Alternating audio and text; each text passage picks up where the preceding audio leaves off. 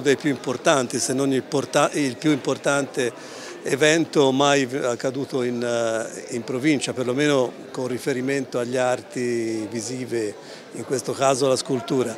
A 130 anni dalla sua nascita e a 40 dalla morte, Giorgio De Chirico viene celebrato ad Arezzo con una mostra ospitata nell'atrio d'onore del Palazzo della provincia di Arezzo. Una mostra che mette in luce il suo lavoro meno noto, la scultura.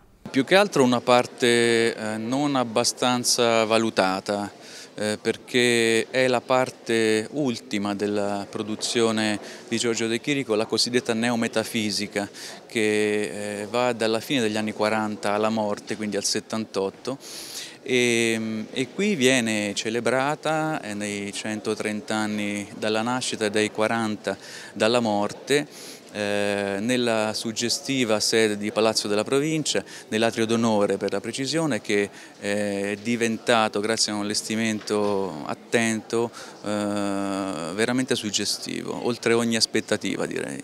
L'esposizione racchiude una decina di opere e sarà visitabile fino al prossimo 4 marzo ed è stata promossa dall'Associazione Culturale Arezzo Arts Nova. Non è certamente esagerato dire che De Chirico è stato insieme ai futuristi con la sua arte metafisica il eh, promotore dell'italianità e dell'arte occidentale.